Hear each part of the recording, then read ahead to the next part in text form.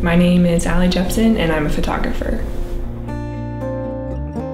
I started when I was 14. There was really no like desire to make any money off of it. I just knew that there were pretty things around me, mainly people, and I really just wanted to like capture them and keep it in a way that you could look back on something and like feel an emotion. Really passionate about people and individuality, and I believe that God made every human in a unique way. I still have a really strong desire to capture this like beauty that's so different in each human. When I started taking pictures, I didn't actually know that other people took photos. I thought I would just like like to do it, so I did it. I had no idea that people did it for money, and I had no idea that people in Springfield did it. So when I got an Instagram, I discovered that there is a kingdom of photographers in Springfield.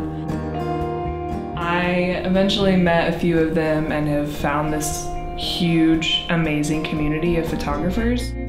I say that I'm self-taught, but I'm actually not because there are tons of people in Springfield that have inspired my work and sort of taken me under their wing and taught me how to take photos. It's really, I think, vital to have people to collaborate with when you are an artist. Springfield has been incredibly important in my journey as an artist.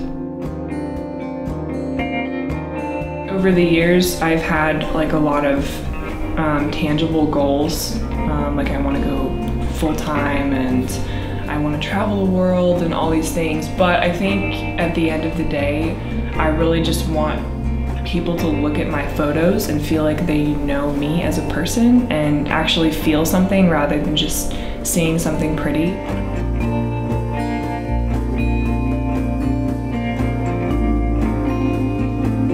You really have to stop comparing yourself to other people.